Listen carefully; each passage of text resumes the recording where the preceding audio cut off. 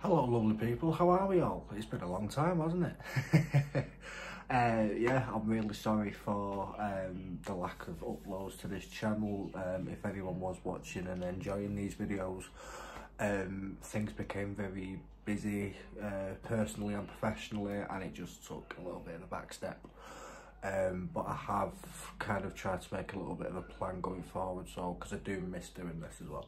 Um, so I'm going to try and do one video um, a week, probably filmed on the weekend because I work during the week. Um, and yeah, and just try and get back to a steady upload because, I, like I say, I have missed doing it. But um, welcome back to the Acting Daddy channel. Um, lots to talk about. Um, obviously, a whole month, uh, January um, which was um, a good month. Um, lots of opportunities, uh, one being uh, One Play One Day Six, um, which was, feels like ages ago now. um, and I've not spoke about it yet. It was another great night. Um, I got the chance to work with a fantastic team, including the wonderful uh, TV director, Mickey Jones. Um, it was a pleasure, pleasure and privilege to work with him um, and yeah, the rest of the team, uh, Niall White, um, Gina, I can't remember your surname and I'm really, really sorry. Um, and I believe there was one called Barbara. I'm really, really sorry. It's been a whirlwind of a month or so. So please don't be offended. That I can't remember your names. Um, but it was a pleasure to work with everybody again and it was a great night. Um, something else that I can talk about now because it has been announced, uh, something very exciting. So I will be um, back on Coronation Street at some point this year. I am not revealing when, I'm not revealing why. Um, you can just know that I'm in Coronation Street again, uh, which was very, very exciting, um, over the moon to uh, get another chance uh, on Coronation Street and um, get another TV credit under my belt. And yeah, good way to kickstart the year and hopefully um, I can keep the momentum going. A uh, big shout out to my amazing agent Andrea Price. Um, her and the team are incredible and get me lots of fantastic opportunities. Uh, so I feel like it was a bit of a shared success for us all that job. Um, but uh, yeah, so that's very exciting.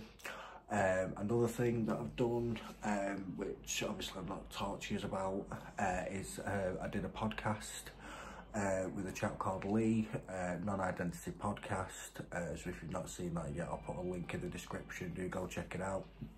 Um, it was great to talk to Lee. Um, really nice guy. Um, and yeah, just spoke about literally how I got into acting. And yeah, basically my life. I didn't really know what to say there, as you could tell. Uh, but yeah, it was really good to chat to him, and if you'd like to go watch the interview, please do. Um, and go and support his channel as well, because uh, I'm sure he'll appreciate all the support.